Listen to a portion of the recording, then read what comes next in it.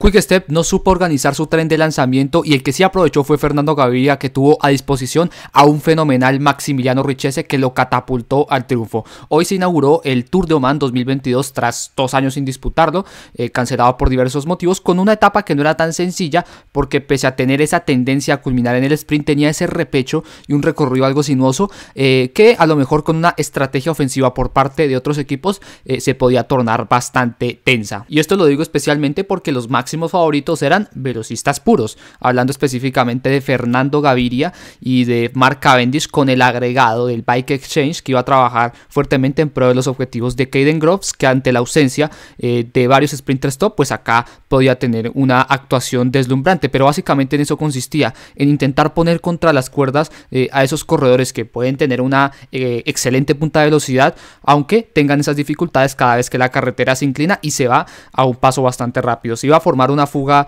eh, sencilla de controlar como siempre para el pelotón con tres corredores en específico, Mohamed Al-Wahibi de la selección de Oman, Jan Junewine eh, y el más protagonista de todos ellos que iba a ser Peyo Goicoechea del Euskaltel Euskadi, eh, que pues iba a mostrar también una gran combatividad y una gran diferencia de fuerza con respecto al resto de aventureros que lo acompañaron en esta odisea. Y como mencionábamos antes, iban a ser tres equipos los que naturalmente iban a ejercer control sobre la situación el White Team Emirates pensando en los intereses de Fernando Gaviria, el Quick Step eh, para el beneficio de Mark Cavendish y el eh, Bike Exchange con la esperanza de lo que pudiera ser eh, Y mientras teníamos el acompañamiento también de la afición joven, la etapa iba a presentar unas situaciones algo inusuales, ya que si bien es cierto, nosotros en el libreto hablamos sobre cosas que pueden pasar, formas en las cuales eh, un parcial puede ser diferente a lo tradicional. Lo cierto es que siempre hace falta quien pueda tomar ese liderazgo, esa iniciativa para generar ese daño eh, e intentar modificar todo ese libreto. Y eso iba a ocurrir tanto adelante como detrás. Primero adelante con un Goicochea que ya lo mencionábamos, no quería pasar desapercibido, quería hacerse notar eh, y para eso pues eh, empleó esta única rampa categorizada que había en la etapa para poder descolgar a sus compañeros de fuga,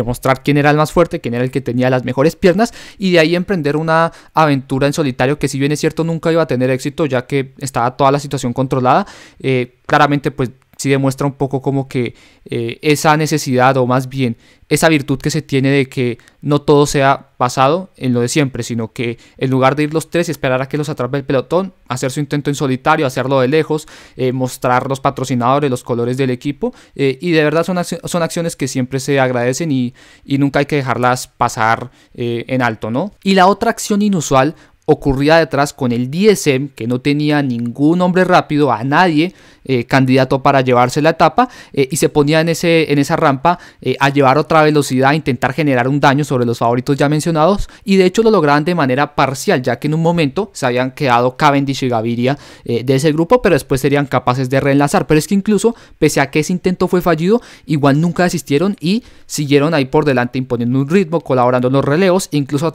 intentando con uno que otro ataque para desestabilizar ahí al Quick Step. De hecho, fíjense ahí como incluso eran unos eh, eh, intensos colaboradores ahí para, para el Wolfpack con un crack Andersen bastante activo, ¿no? y un quick step que claramente se veía en preocupaciones porque es que hasta, fíjense, cuando atrapan a Goicoechea, de gran actuación, el ritmo que van imponiendo hace sufrir mucho a todo el tren del Quick Step que debe realizar un esfuerzo importante, llegar eh, a zonas de esfuerzo bastante altas para al menos no poder nunca rezagarse eh, del paso que estaban llevando los alemanes. Pero pese al sufrimiento, Mark Cavendish y Fernando Gaviria eran capaces de mantenerse en esas primeras posiciones y por lo tanto seguían teniendo el máximo favoritismo para acabar imponiéndose. Y va a ser aquí donde empiezan a producirse los momentos claves del sprint. Un Maximiliano Richese que está en segunda posición, llevando a su rueda a Fernando Gaviria contrario a un Cavendish que ya no tiene sprinters y está un poquito más encerrado. Y va a ser el argentino supremamente determinante para lo que va a acontecer a continuación, porque una vez termina el trabajo del hombre del Grupama,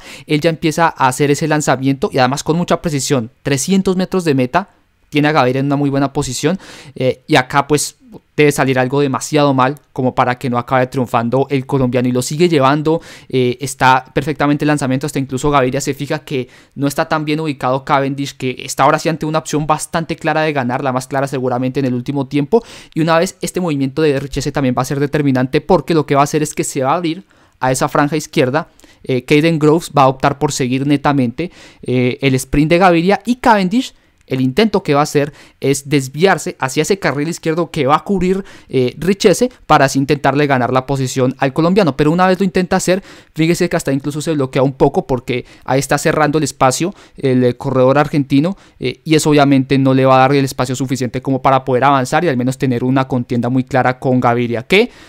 sin rivales de peso sin nadie que lo pueda confrontar, acaba triunfando después de seis meses de sequía, después de seis meses sin haber podido ganar desde esa última etapa en el Tour de Polonia y así poder tener ese desahogo porque él mismo lo mencionaba, ya venía con una presión importante y sentía esa necesidad de ganar. Y creo que ese es el punto clave de esta victoria porque pese a no obtenerla frente a contrincantes de talla, lo cierto es que lo fundamental para este tipo de corredores es eso, ganar, obtener los triunfos, obtener estos éxitos porque es la forma en la que van eh, retomando esa confianza